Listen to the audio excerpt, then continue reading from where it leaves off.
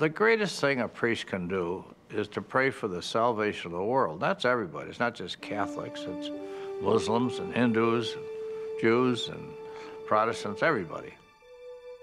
When Father Hesburgh was ordained in 1943, he took another vow, although more in the nature of, as he called it, a pledge, a personal pledge, to celebrate a Mass every day of his life.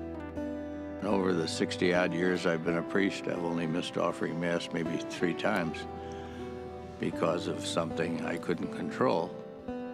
I've also been fairly healthy, but I've said Mass in a lot of weird places like the South Pole and uh, 50,000 feet above the Amazon in an airplane or in a submarine underwater for a week between San Diego and the Hawaiian Islands.